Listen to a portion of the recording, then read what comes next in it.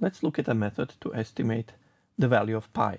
Here I have a, a square and inside it I have a circle.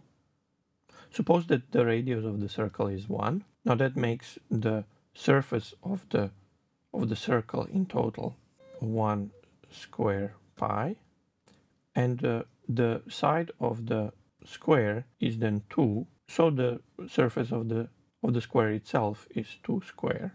Now we can look also at one quarter of this entire picture and then the surface of the quarter of a circle is one quarter and quarter of, a, of, of the square is also one quarter.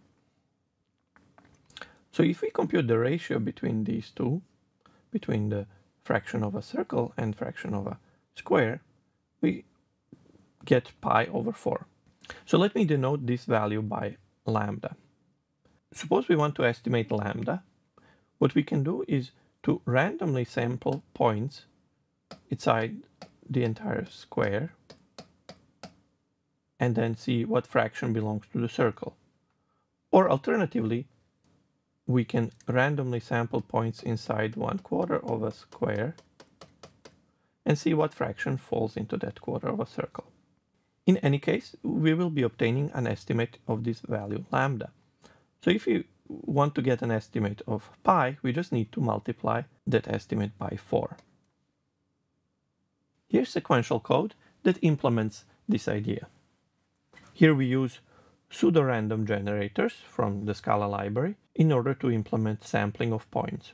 Given two instances of random class, we can use the method nextDouble to obtain a floating point in the interval 0, 1. If we get two such floating point numbers, we'll be getting points inside the quarter of, a, of the square that we considered. Then to test whether these two points, th these two coordinates, correspond to a point inside the circle, we just check whether this condition holds, whether their distance to the origin is less than 1. If this is the case, we are going to increase the counter. So given some total number of attempts, denoted here by iter, we are going to compute how many times we ended up inside the circle. So given the, this ratio, the number of times inside the circle divided by the total number of attempts, we get our estimate for the lambda from previous slide. And then if we multiply it by 4, we get our estimate for pi. Now let's look how we would parallelize this kind of code. Here's the parallel version of computing the same estimate. Here I'm using the parallel construct to simultaneously count these estimates for one quarter of iterations.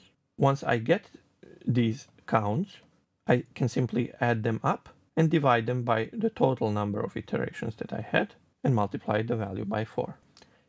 In this case, all these four computations are proceeding in parallel and in fact they do not really have much of a shared resource since they are all proceeding independently uh, doing this computation. So this is a nice example because we do not have a shared resource and also because the amount of work can be easily subdivided into four approximately equal parts. And this is because the computation itself is such that given the value of the parameter, we can easily estimate the amount of work. In this case, it's in fact linear in this parameter, the number of iterations. Unfortunately, not all parallel computations have this property, which means that it can be difficult to ensure that uh, different parallel computations are balanced.